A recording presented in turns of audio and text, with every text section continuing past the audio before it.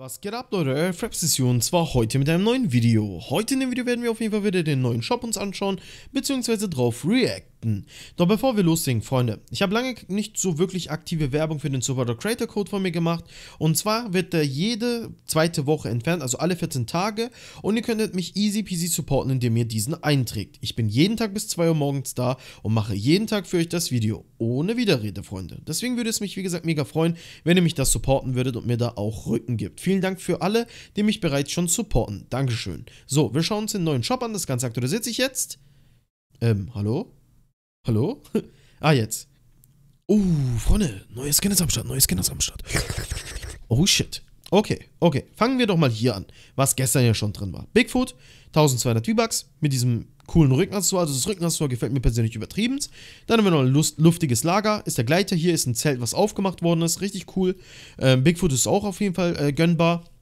Und dann haben wir Mobster Skin, der Ehrenbruder Kylo hier, mit diesem äh, Essence äh, Map 4500 V-Bucks. Passend dazu ein äh, Kauknochen in Gold für 500 V-Bucks und Wuff als Lackierung. Geht auf jeden Fall wirklich in Ordnung. Spitzhacke und Lackierung gefällt mir nicht so. Der Skin ist aber schon ganz cool.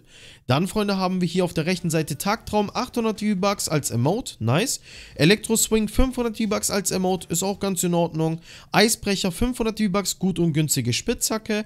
T-Pose 200 V-Bucks kann man den Helikopter machen, gefällt mir persönlich auch. Boxenstop 800 V-Bucks kann man sich auch auf jeden Fall geben, finde ich besser als der männliche Skin. Und Waffenexperte ist auf jeden Fall ein richtig nicer Skin vom Aussehen her. Dann haben wir heute einen neuen Skin erhalten, den guten alten Raubzug.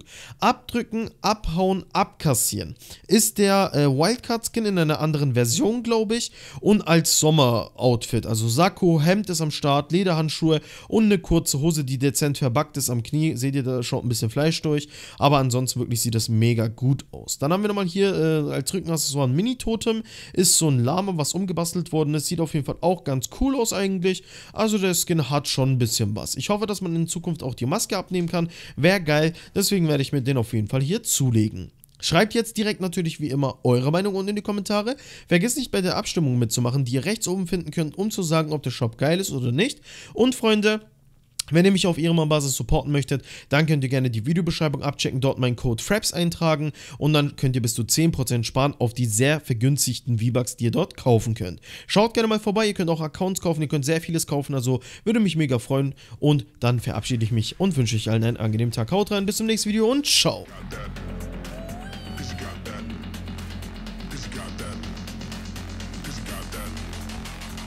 Got that.